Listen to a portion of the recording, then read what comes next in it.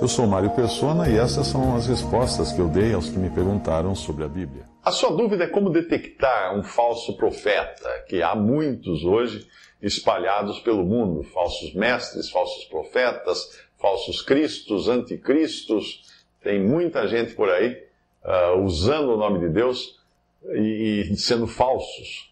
Numa palestra, eu li um artigo outro dia, numa palestra que um agente do FBI ah, ministrou num banco nos Estados Unidos, uma palestra para funcionários de bancos, de banco, ele disse que para se detectar dinheiro falso, é preciso conhecer muito bem o dinheiro verdadeiro.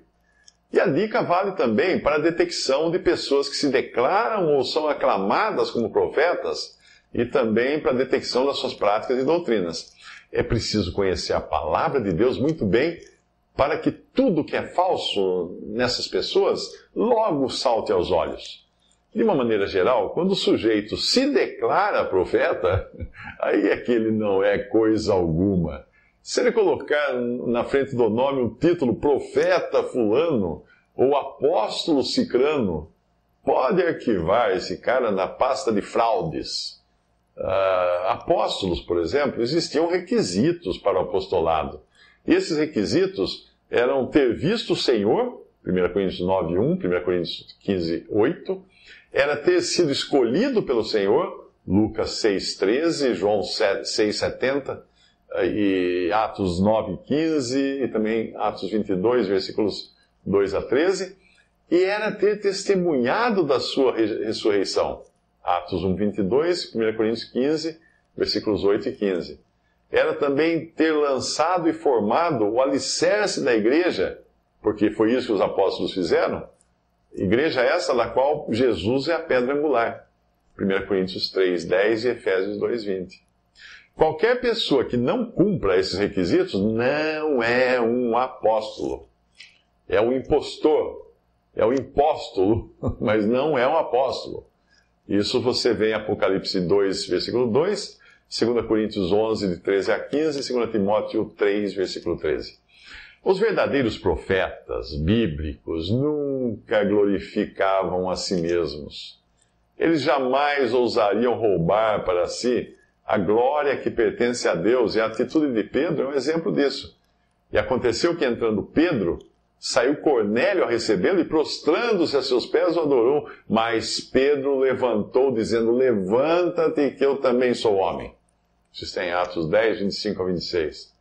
Nem mesmo os anjos ousam colocar-se em posição de destaque para receber honra de homens. Veja esta passagem. Eu lancei-me, João escrevendo, lancei-me aos seus pés, aos pés do anjo, para o adorar, mas ele disse-me: Olha, não faças tal, não faças tal coisa. Eu sou teu conservo e de teus irmãos que têm o testemunho de Jesus. Adora a Deus, porque o testemunho de Jesus é o espírito da profecia. Apocalipse 19, 10. Jesus alertou contra a autopromoção que costuma ocorrer nesses que querem ser alguma coisa na obra de Deus e se gabam de grandes feitos. Quando você encontrar muito eu, eu, eu, eu no discurso de alguém, desconfie, desconfie. Eu fiz isso, eu aconteci, eu. Desconfie. O Senhor Jesus falou assim: quem fala de si mesmo busca a sua própria glória. Mas o que busca a glória daquele que o enviou, esse é verdadeiro, e não há nele injustiça. João 7,18. Profetas genuínos também acertam em 100% as suas previsões, como ensina Deuteronômio 18, de 21 a 22. Porque se não acertarem, o profeta é, no Antigo Testamento era condenado apedrejamento, ele é condenado por suas próprias palavras. Tem, um, tem uma passagem que, na, na, Bíblia que diz assim: E se disseres no teu coração, como, como conhecerei a palavra que o Senhor não falou? Quando o profeta falar em nome do Senhor e essa palavra não se cumprir, nem suceder assim, esta é a palavra que o Senhor não falou. Com soberba a falou aquele profeta. Não tenhas temor dele. Deuteronômio 18, 20, 21 a 22. Porém ele lhe disse: Mal servo, pela tua boca te julgarei, o Senhor Jesus está dizendo. Mas eu vos digo que de toda palavra ociosa que os homens disserem, hão de dar conta no dia do juízo isso está em Lucas 19, 22 e Mateus 12, 36. O verdadeiro, o verdadeiro profeta prova o seu ofício pela riqueza de detalhes que ele apresenta das suas previsões, como fez Samuel quando ungiu a Saul rei em 1 Samuel 10, de 1 a 7. Ele avisou que as jumentas que Saul buscava teriam sido já encontradas por dois homens junto ao sepulcro de Raquel. Olha o detalhe. Avisou também que o pai de Saul já sabia disso. E que logo mais Saul seria abordado por três homens subindo a Betel, um deles levando três cabritos, o outro três bolos de pão e o outro um odre de vinho. Esses homens lhe perguntariam: Como estás? E te darão dois pães, que tomarás das suas mãos.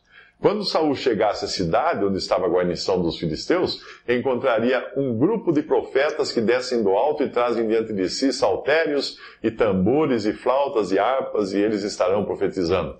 1 Samuel 10, de 1 a 5. Tudo isso aconteceu exatamente nos mínimos detalhes do, do jeito que Samuel tinha previsto. Agora pergunte a si mesmo: quantas vezes você viu aquele profeta da TV falhar nas previsões que ele fez. Ou, ou, então, só enrolar falando coisas, informações genéricas. E quando ele fez aquele showzinho de adivinhar informações da plateia, e você ficou impressionado, eu pergunto para você: você já ouviu falar de um negócio chamado Facebook? Já ouviu falar de redes sociais? Pode ter certeza de que é possível descobrir muita coisa das pessoas só observando o comportamento e as fotos dela nas redes sociais. Não é adivinhação. Então deixe de ser ingênuo. Pare de sustentar esses picaretas, esses impostores, que são, na verdade, servos do diabo e não de Deus. Visite respondi.com.br. Visite 3minutos.net.